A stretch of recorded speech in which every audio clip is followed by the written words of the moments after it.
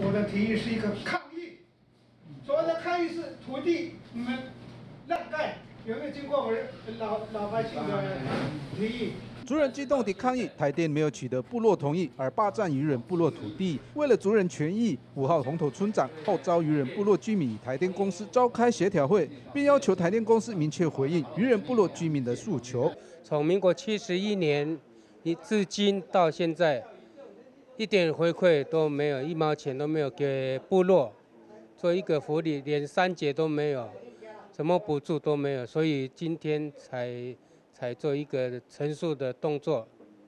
临近火力发电厂的渔人部落，曾多次向台电公司反映，常年受到空污的影响，以及发电低频声的干扰，造成居民身体健康及农作受损等，但都没有得到回应。这次协调会议，部落居民轮流发言，并针对陈情书内土地不争议取得及回馈机制补偿等十几项要求，要台电落实对邻近部落居民权益。我们的实际发电总呃那个总瓦数是六千瓦，对不对？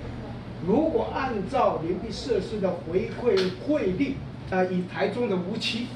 哦，那我们做参考，以六千万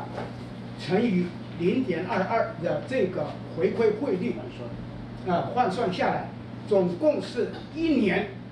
台电要支付渔人部落一百三十二万。是一台电里面的规定总发电量对周边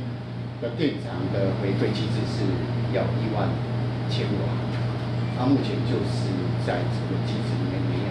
我们所谈的内容意见，我们会诊以后，我们会往处里面长官来来上层，然后啊让总总之长官来来裁示。